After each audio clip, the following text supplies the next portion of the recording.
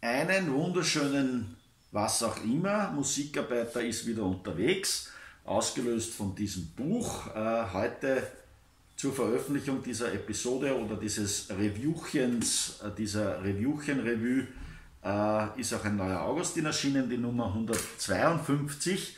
Da werden wir gleich Bezug drauf nehmen. Da unten gibt es dann auch immer schriftliche Informationen und diverse Links zu den Dingen, die behandelt werden. Ich möchte mit einem wunderschönen Satz von Heimito von Doderer beginnen, nämlich Wirklichkeit aber ist das, was im Leben wirklich wirkt. Norme, Wirklichkeit aber ist das, was im Leben wirklich wirkt. Hermito von Doderer, Die Dämonen, großartiger Roman. Ich nehme jetzt auch die Maske ab. Die Maske hatte ich deswegen auf, weil mich ja diese Verschwörungsmystiker extrem nerven. Diese ganze ESO-Front, diese Querdenkerinnen, die sollen bitte die Straße queren und irgendwo sich Vernunft und Hirn holen. Äh, das ist eine rechte Geschichte durch und durch. Wer Fahnen zerreißt und mit Nazis geht, ist ein Nazis. Scheiß drauf. Also das braucht man immer ausdifferenzieren. Und es geht nicht darum, mit Rechten zu reden, sondern wir müssen reden wir müssen reden. Und dann muss ganz klar sein, dass diese esoterische Kacke einfach äh, nur mehr dazu beiträgt, dass alles relativiert wird. Und damit man uns nicht falsch versteht, gleichzeitig gehört natürlich alles, was um diesen Virus politisch und gesellschaftlich geschieht, reflektiert und diskutiert, aber in einer tauglichen Form und nicht auf dieser Schwurblerinnen-Ebene. So, äh, Musikarbeiter unterwegs, das heißt, es geht um die heilende Kraft der Musik, um die einende oder auch differenzierende Kraft der Musik. Es ist noch immer so, dass ich wahnsinnig viel Musik geschenkt bekomme, das heißt, ich werde bemustert. Ich habe zwar keine Outlets oder nur ein sehr beschränktes Outlet, eben den Augustin, wo ich alle zwei Wochen über Musik schreibe und auch gelegentlich äh, das Ox, da sind es aber eher Hardcore- und Punkrock-Themen, klarerweise. Ähm, ja, und dann gelegentliche Ankündigungstexte, die ich halt mache. Äh, ich möchte mich nochmal bei Musikern und Labels bedanken, die es dennoch äh, äh, sinnvoll finden, mich zu bemustern. Ähm, ja, und ich möchte ein bisschen diese Musik dann auch äh, reflektieren. Beginnen wir mit Blue Blood äh, und dem schönen Album Andenborsten Gürteltier. Blue Blood sind Mark Holub am Schlagzeug, Pamela Stickney am Theremin, Chris Janka an der Gitarre und wie dieses Instrumentarium vielleicht nahelegt, steckt hinter diesem schönen, wirklich schönen Cover eine sagen wir mal, experimentelle oder sehr freie Musik, wobei ich aus meiner Perspektive sagen muss, ich habe jetzt ein, eineinhalb Stunden, zwei Stunden mich durch diese Musik durchgehört, äh, dass mir das eigentlich am meisten anspricht, wenn eine Musik nicht gleich sozusagen kategorisierbar ist und sie im Idealfall auch instrumental ist, weil dann steht kurioserweise der Text nicht meinem Zugang zur Musik äh, äh, im Weg wenn eine Musik einen Text hat, dann reflektiere ich in der Regel als erstes den Text. Äh, nicht durchgehen. Wie gesagt, aber Blue Blood machen etwas wirklich Wunderschönes in diesem Dreier-Instrumentarium. Da gibt es dann ein Stück Gnu, das ist das vierte.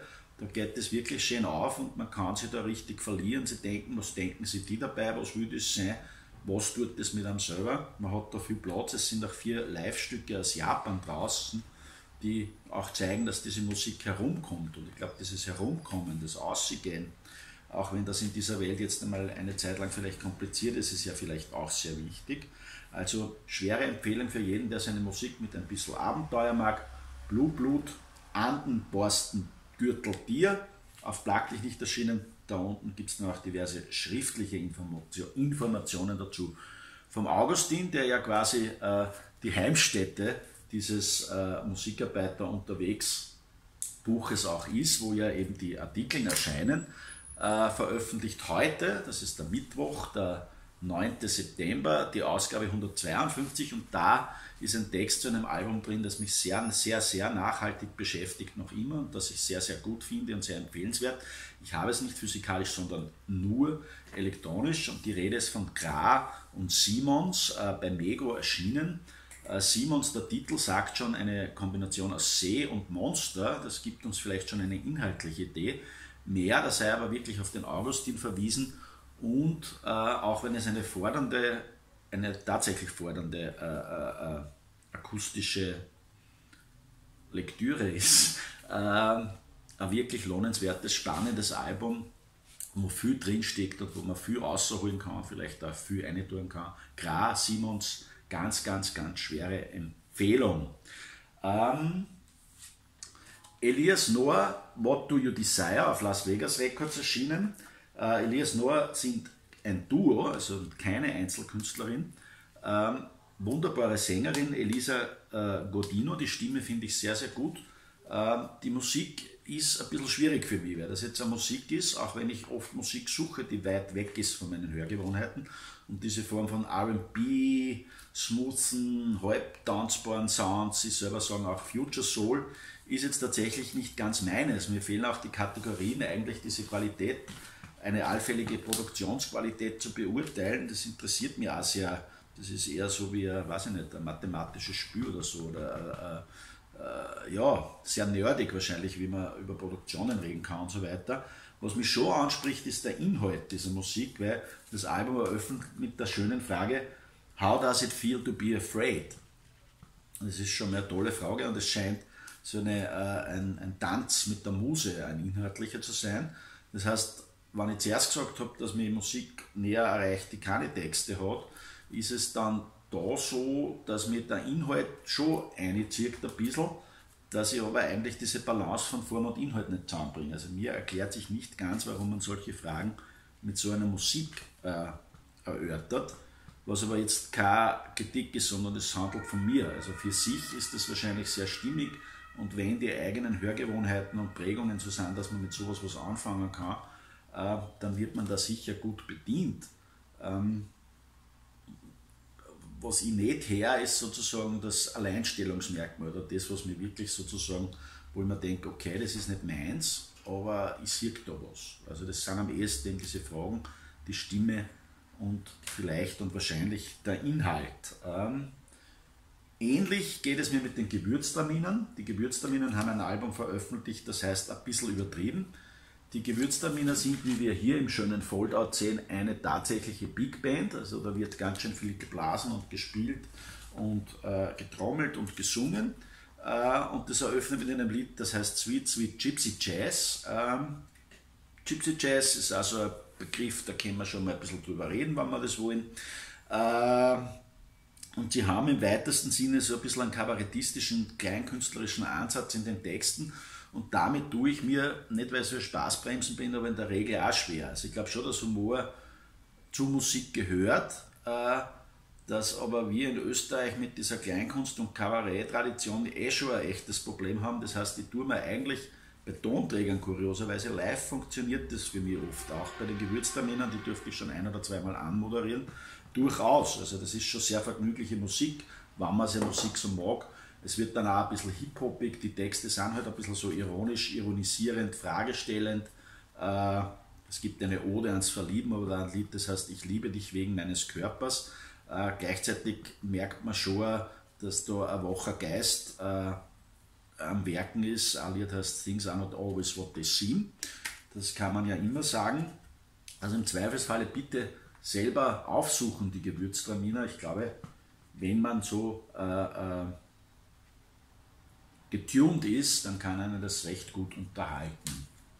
Eine andere Form der Unterhaltung, vielleicht ähnlich wie Blue Boot mir am nächsten oder wie das Gra-Album, Lukas Lauermann in das zweite Soloalbum dieses vielspielenden Cellisten mit 19 Kompositionen. Es ist tatsächlich nur Cello, oft auch elektronisch verfremdet, äh, äh, speziell aufgenommen und so weiter, weil der Lukas ein sehr kreativer Mensch ist.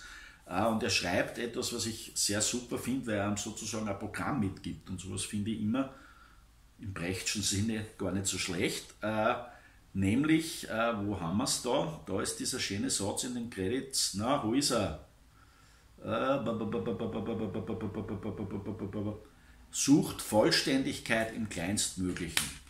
Und das finde ich spannend, weil er das sozusagen auch das Gefühl gibt, man kann ihn dabei begleiten als Hörer oder Hörerin bei ihm, äh, wenn man mitsucht. Und vielleicht findet man für sich selber was anderes als er. Und das macht das Album sehr, sehr spannend. Und ähnlich wie Blue Blood wahrscheinlich etwas, was ich mir dann tatsächlich äh, auflege. Weil ähnlich wie beim Fortgehen möchte ich mir ja auch wohnen, dass ich dort gehe, wo ich noch nicht war. Und das waren dann bislang diese beiden Alben. Äh, Pipa. Bei Pipa, das ist das zweite Album mit dem schönen Titel Idiotenparadies. Äh, hier ist es dann, hier wird Deutsch gesungen, nicht Dialekt, sondern eigentlich so ein fast klassisches Neo-Wiener Deutsch, äh, weil wir ja viel auch deutschsprachige Zuwanderung haben, gibt es ja dann auch so ein mittlerweile Hochdeutsch neben diesem, oder, oder Wiener Hochdeutsch oder wie auch immer, äh, neben diesem Dialekt, der uns ja auch in vieler Form begegnet.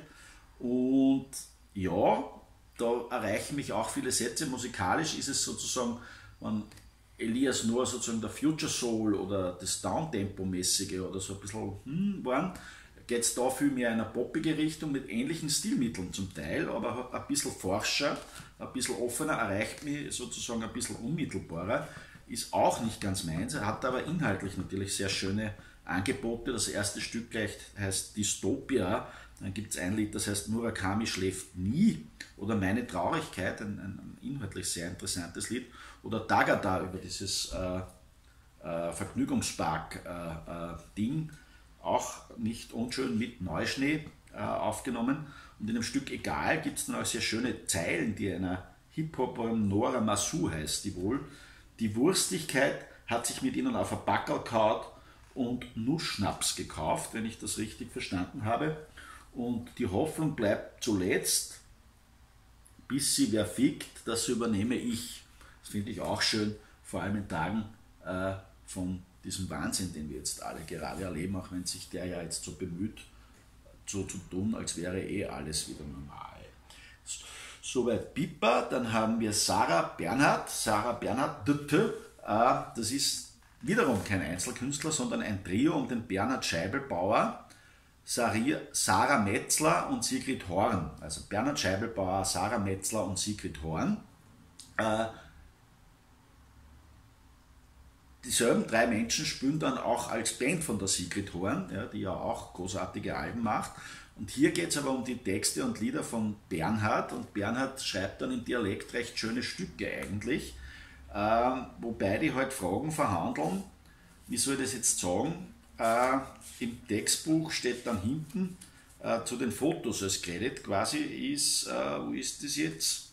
Ähm, dass die Fotos von diverse Eltern sind. Das heißt, es geht, glaube ich, durchaus um eine nachwirkende oder nachhallende Vermessung der Kindheit und der Jugend und gleichzeitig auch so äh, Erörterungen von Fragen, ja, die eh erörtert kehren. Also so ein, fast ein Kernstücke sind die Nummer 5 und die 6, der da oben und Bubenträume. Und da kann ich schon was anfangen damit, fühle mich aber gleichzeitig ein bisschen weit weg oder, oder eigentlich woanders. Das erwischt mich halt nicht mehr. Also ich glaube, wenn man unmittelbarer in dem Leben drinnen ist, erwischt dann das mehr und sagt dann das mehr. Wobei andererseits die Formulierungen in so einem Dialekt, der nicht sagt, ich bin authentisch wienerisch oder niederösterreichisch oder sonst irgendwas, sondern sehr nah an dem, wie Bernhard das offensichtlich singen und schreiben will. Ähm, die Musik hat dann, er spielt Ukulele, Banjo, es gibt eine Harkenharfe, Harkenharfe heißt es, ja, genau, Harkenharfe, die spielt die Sarah. Ähm, ist es sehr erfrischend und hat einen sehr eigenen Tonfall, den man, glaube ich, so noch nicht so viel kennt. Und eh, wie alle diese Alben, von denen heute die Rede ist, verdiente es natürlich viel mehr Auseinandersetzung. Aber wenn das verlockend klingt für Sie, so eine individuelle äh, äh, äh, Dialektmusik, die auch was, äh, die auch was äh, verhandeln will, dann suchen Sie das doch auf.